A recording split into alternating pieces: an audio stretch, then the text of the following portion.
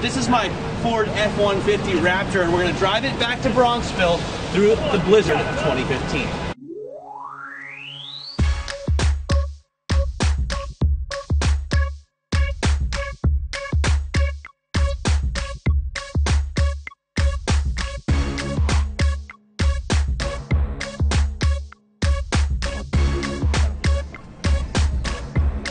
Let's get one of these boxes for Stephanie Ruhle. Do this.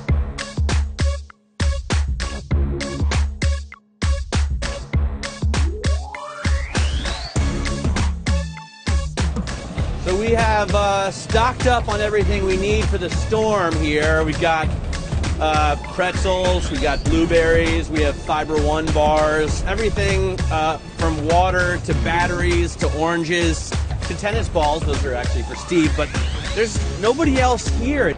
Gas stations are not packed. People are not lining up around the block with gas cans. Nobody's preparing for the zombie apocalypse. It doesn't seem that bad. It's just snowing. We've uh, put 33 gallons of gas into my big black behemoth here, and we're to take it on my 17 mile commute to work. Hopefully, we make it through snowpocalypse, the blizzard of 2015.